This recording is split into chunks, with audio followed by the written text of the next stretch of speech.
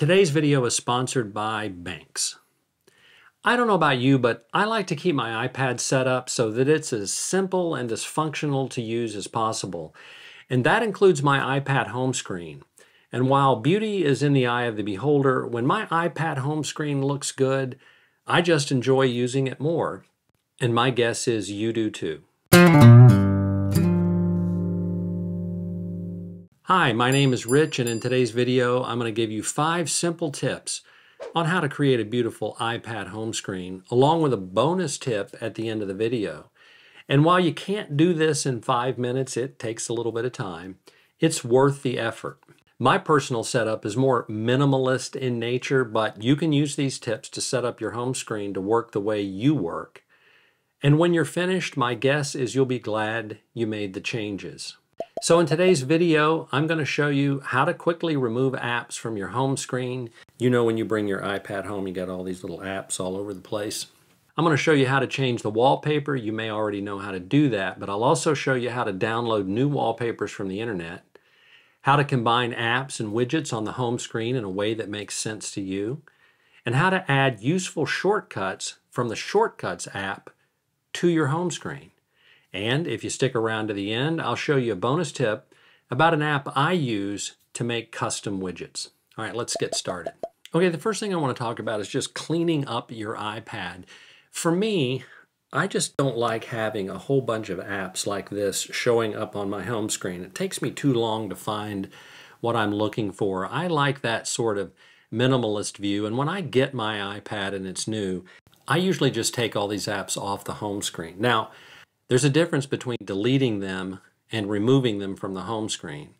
Now, Apple has an app library, and all your apps live over there, and you can search for an app too when you're there. So I like to start out putting all my apps in the app library. And the way that you used to have to do this is you just press and tap and hold and click Remove App, and then Remove from Home Screen. I don't want to delete it.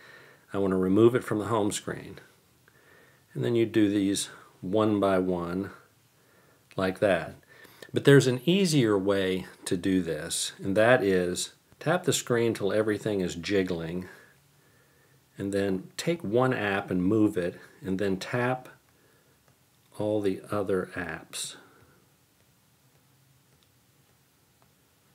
Like this, and they all kind of slide underneath your finger. And this takes a little practice to do, but if you can do it, now you slide over and here we're there and now we're in the app library and you have to drop it in one of the app folders like that and then it just populates.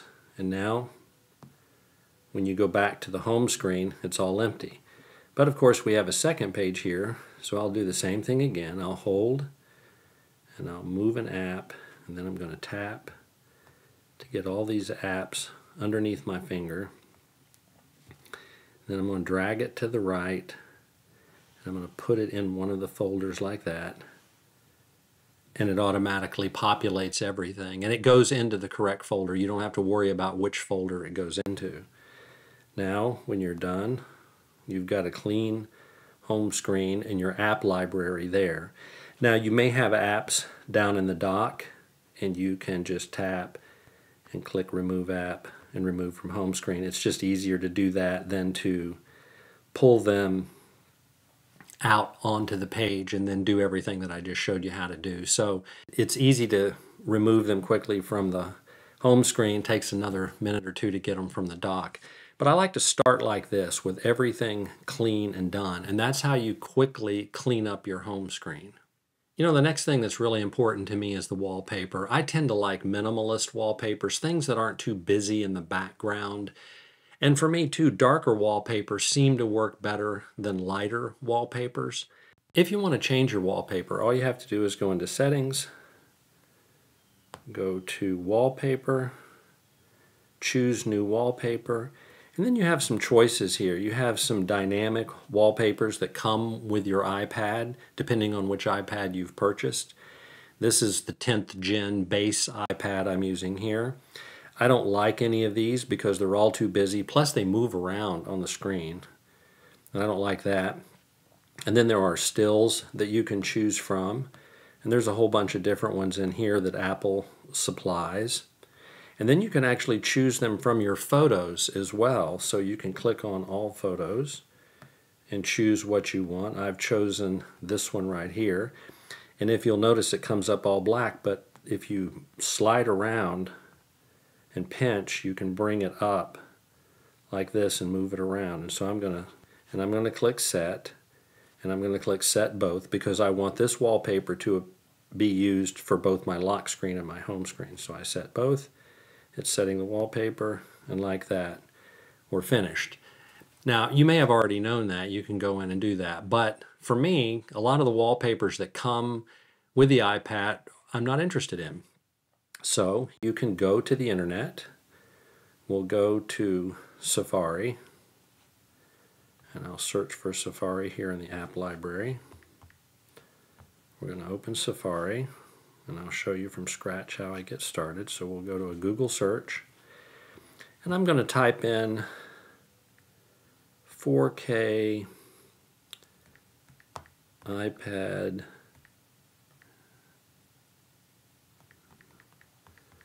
minimalist wallpaper. So Google returns a whole bunch of stuff here, but they also have images, which usually which are Google images, and you can tap on that. And now you have a whole bunch of stuff here that you can look at, and maybe you'll find something that you like. Again, it doesn't have to be a minimalist wall pad. It could be animals, or it could be colors, or it could be trees, or just literally anything you want. There's a wallpaper out there for you. But, but I like these that are simple and sort of dark, so I'll try to find one here. This looks like one that I could use. Now, it comes up over here and if you tap on it you can see the you can quickly see the dimensions of it and this one is 2932 by 2932 which means that's plenty big enough for the iPad screen. You don't want to try to make an iPhone wallpaper show up on an iPad screen. It gets all blown out of proportion. And even though you typed in iPad screen up here in the, uh, in the search bar in Google, sometimes you'll get a return of iPhone wallpapers. So now that you found the wallpaper that you like, you can just tap on it and click on Save to Photos, and now you're done. And now you've downloaded a new wallpaper to Photos. And if you want to change your wallpaper, you can go back into Settings, go to Wallpaper, go to Choose New Wallpaper, All Photos, and here is the photo we just downloaded. And again, you can move it, you can pinch in and out, make it bigger, however you want it to be, and then click Set. And I'm going to set both because I like them both to be the same. And now I've changed my wallpaper to something totally different.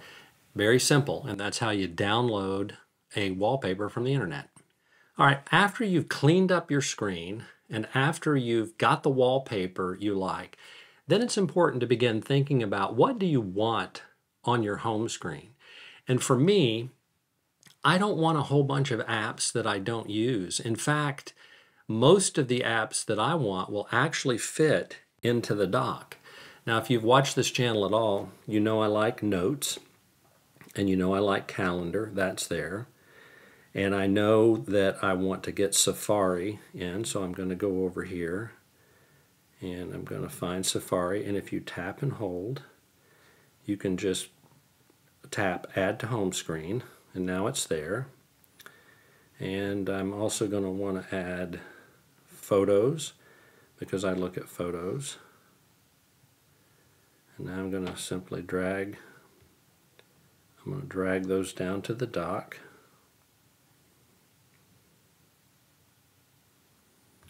like that. I tend to only put a few applications in the dock and as I find that I need them, I add them in. I don't add the ones that I might use and but I don't really use that kind of thing.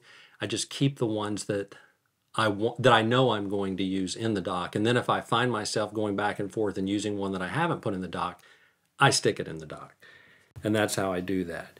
And so you can just pick and choose the apps you need. And now you have a very clean interface and you have the apps that you want in your dock. And that's good to think about. Now, for me, I like to have some widgets that are on there. I like my iPad to show me some information when I first pick it up. So I'm going to add a widget. I'm going to press and hold, and then I'm going to tap on the plus sign up here to add a widget. And the first thing I'm going to add is weather, because as you know, I can't live unless I know what the weather is. So I'm going to add that widget. And now I've got that widget showing up up there. And that's important to me. Now I can just pick it up and I can see that. I also like to know what I've got on my calendar. So I'm going to tap again and I'm going to add a calendar widget like this. I think I'll add that one. And I like to have that. So now I know what the weather is. I know what's coming up on my calendar. I also like to add a reminders widget. And I'll add that so that I can see what's on my list of things to do for today. And that's typically what I have on mine. I have the apps that I need in the dock. I have the weather, I have the calendar, and then I have my reminders up here.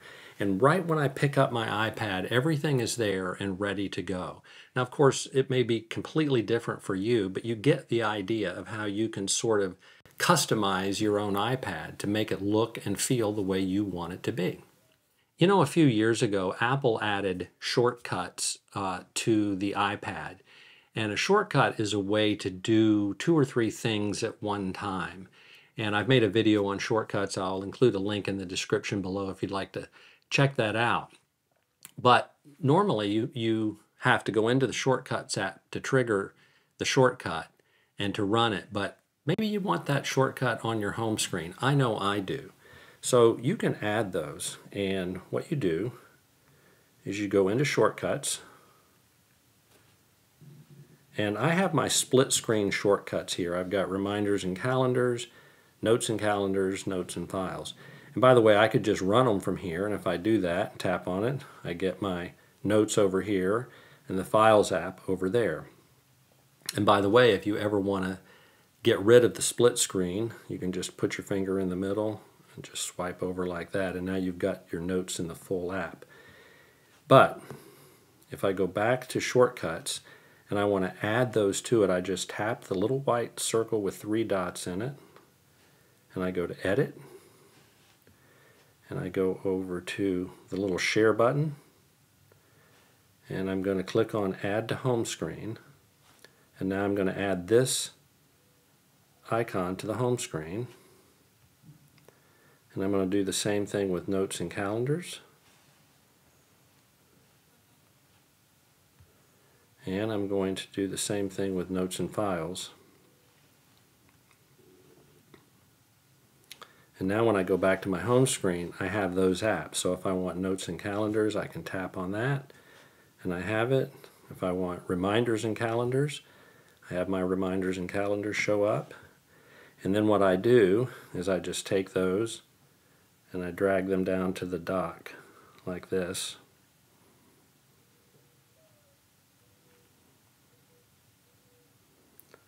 and I have a little icon. And now I have what I want up here, a very clean screen, the apps I want, including Shortcuts apps.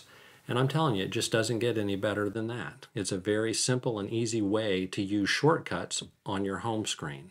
Today's sponsor is Benks. They sent the Infinity Basic iPad stand for me to use and review. This stand has shown up in a couple of other videos I made and people have asked about it. It's flexible yet sturdy and holds small iPads and large iPads, including the 12.9 inch iPad. I like that I can lay it nearly flat and use my Apple Pencil with ease. In fact, you can set it to just about any angle that you need. The base also rotates in a very pleasing, clicky sort of way. It's well built and I'll use it for years to come. If you'd like to purchase this killer stand, then there's a link in the description below. And if you use the promo code RichBowlin15 at checkout, you'll get a 15% discount. Honestly, if you're looking for an iPad stand, you can't go wrong with the Benks Infinity stand. Okay, if you've hung around with me this long, I wanted to show you here at the end of the video an app I use to make custom widgets. This is a custom widget, and the app I use is called Widgy, W-I-D-G-Y. You can find it on the App Store. They have a free version that'll do a few little things, and then they have a paid version which you can get really fancy with. I haven't really promoted this on my channel because I like to keep things really simple, but I've had so many people ask about this that I thought it would be best to tell you. Now you can download Widgy from the App Store and give it a try if you want to, but it's not the easiest thing to work with. But here is an example of the kind of widget you can put up there. This is all customized. I've got a battery level, the weather and temperature, the date and time, and then the sunrise information there. Again, these widgets are widgets that come from Apple that you can just put up there like I showed you on my other iPad.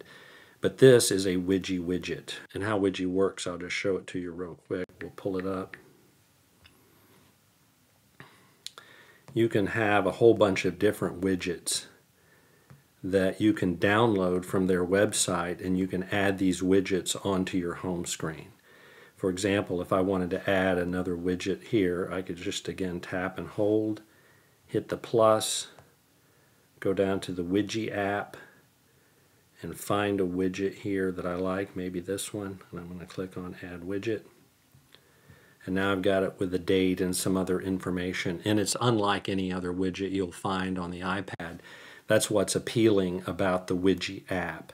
But it's just a custom app that'll let you do a lot of different little things with it. Again, if you go into Widgy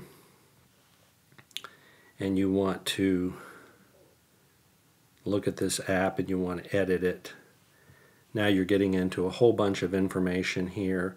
Um, I don't want to go into this in too much detail, but it is a way for you to customize your home screen in a very unique way.